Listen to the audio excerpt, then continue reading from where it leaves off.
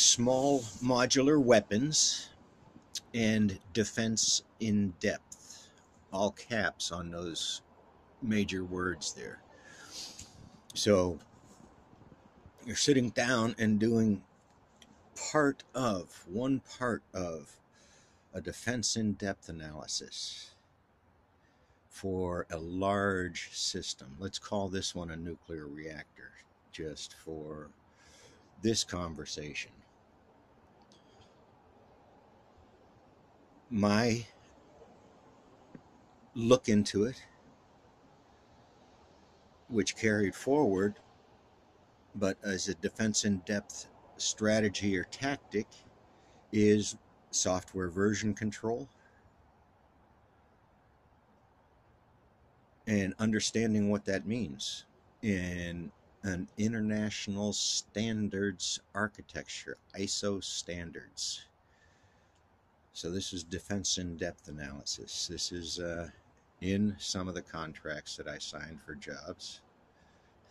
there was a uh, need to know, but this is very high level information. Maybe what I'm going to put together for you but there is specific control system architectures and designs that have only been improved. Um, basically, to you, they would look like a cluster, a computer cluster. So uh, externally, it would look like a supercomputer. Uh, usually, it's an open systems environment, so you're not talking a Windows operating system necessarily, but Windows is OSI compliant as well. So, defense in depth, very specifically, control systems. So, what, what have we heard about control systems, control systems, architectures, like the power grid being susceptible? Um, yes, it is. Yes, it will always will be, but it's not easy it's a lot harder than, than some would have you think. So, this consideration is part of architecture, network layers, network security, authorizations.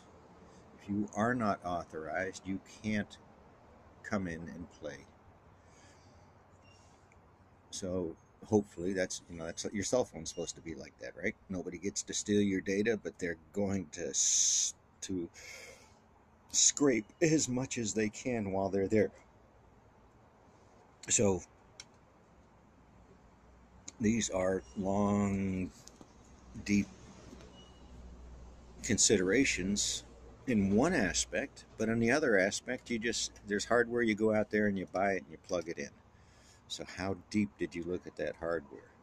And I mentioned OSI layers because you get into device addressing out in a, you know extended. It's, it's complicated. Not the video.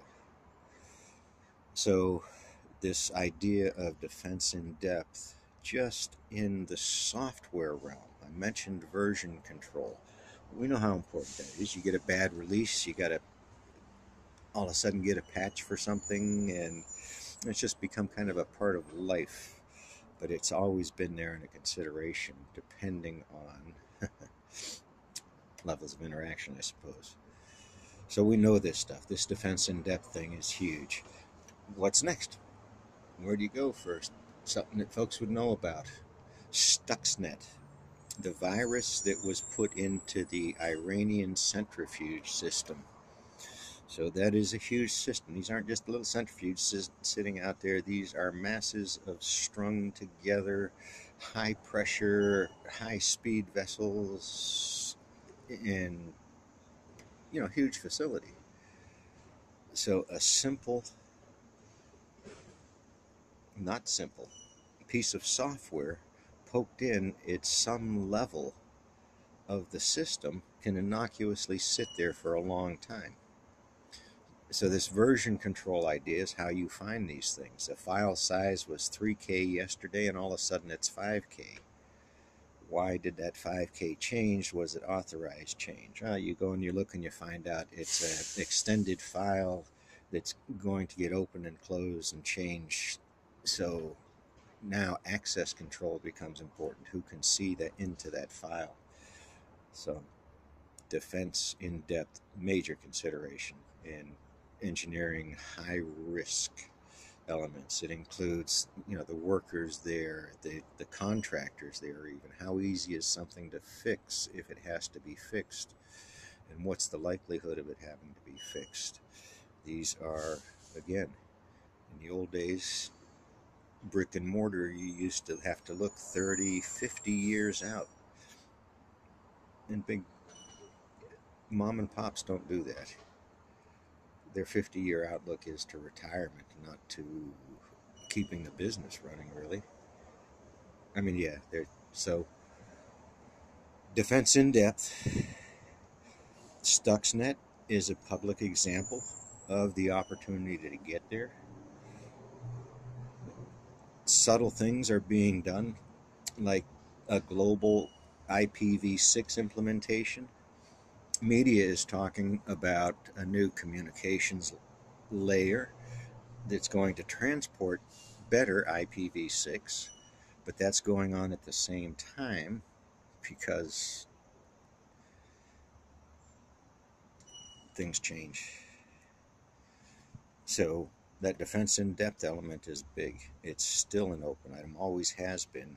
And because of legacy systems, the vulnerabilities out there are huge the considerations are huge.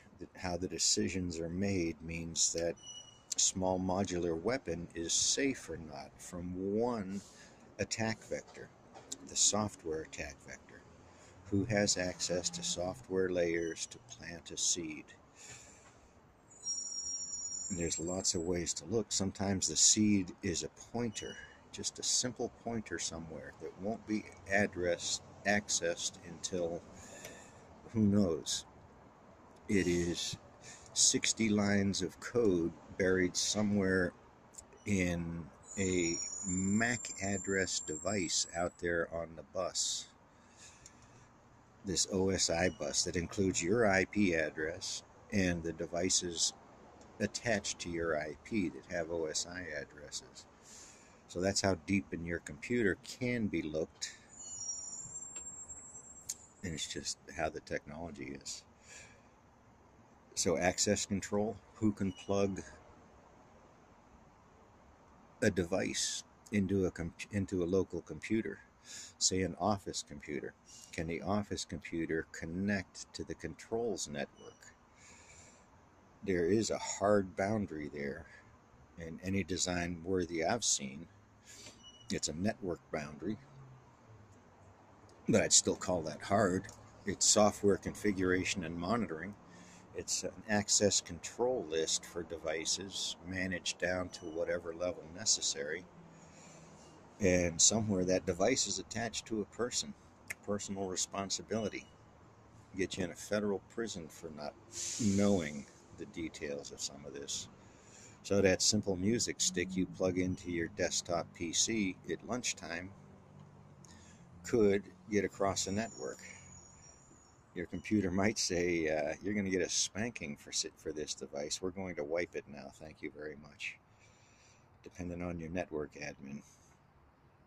These are just big system considerations that folks have. And these aren't black hole, you know, they're documented. They're, they're part of processes that say this was safe enough this was enough for public consumption. Small modular weapons in a neighborhood are okay. And again, I just pointed to one attack vector from remote networks that needs to be accounted for and planned for tomorrow.